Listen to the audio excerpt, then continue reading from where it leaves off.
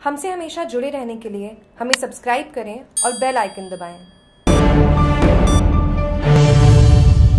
Police थाना Sojat city परिसर में सोजत डीवा एसपी डॉक्टर हेमंत कुमार जाखड़, थाना अधिकारी रामेश्वर लाल भाटी द्वारा थाना पर नियुक्त ग्राम रक्षक दल सदस्यों की मीटिंग ली गई। उनको ड्यूटी व कर्तव्यों के बारे में जानकारी दी गई। वर्तमान में ग्रामीण क्षेत्र में हो रही लूट व नकबजनी व चोरी की वारदातों के संबंध में ग्रामीण को संदिग्ध लोगों से सहज रहने के हेतु आम जन को सचेत करने हेतु भी निर्देशित किया गया।